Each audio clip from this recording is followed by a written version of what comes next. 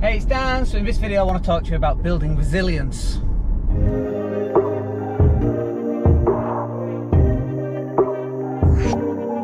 Hey, it's Dan. Hope you're well today. So it's just on my way to CrossFit, and uh, I just wrote a post about uh, resilience, put it out on Facebook and so on. But I also wanted just to get some extra thoughts onto video uh, to share with you because well, one of the biggest things that I've learned, and this really all comes from CrossFit, is is that this idea of, of resilience. You know, you see a large amount of work in front of you that you have to get through to get the workout done, and you're looking at it and you're like, oh my goodness me, how am I going to get through this? And then you just start, and you start slowly, and then you build up, and then you get through it, one step after the other, one lift after the other.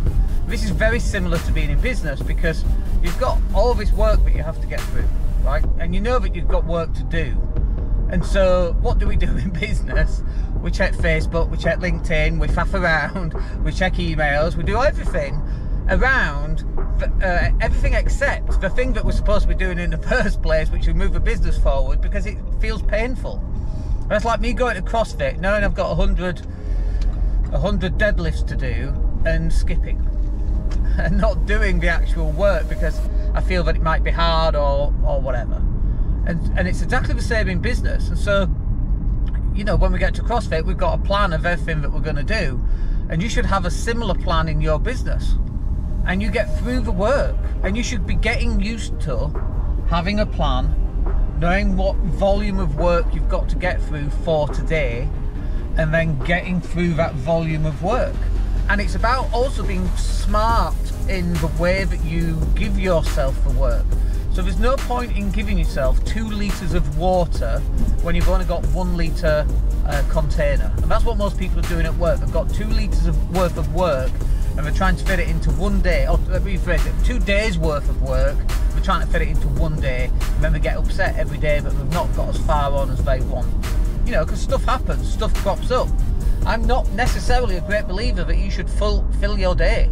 I think you should have spare gaps in your day because when stuff crops up, which invariably it does, a phone call goes on longer, an emergency of some kind, uh, stuff happens during a day. We know this. And so it's about you being smarter with your time so that you're also handling your mental well being and not getting upset every day because you've not got everything completed. So have a list, get through it. Uh, but also, one of the big things is that this resilience will trans translate into other areas of your life. So, for me in CrossFit, getting through all of this work is incredibly important and vital, and getting used to getting through that work and building that resilience of, oh, I'm exhausted, I don't think I can do another thing, and then you go do the other thing. It's absolutely vital for you to build your business and your life and your relationships and your health and everything else that's going to come in um, and do this here. Anyway, uh, look, CrossFit as it happens. So I uh, hope that's useful.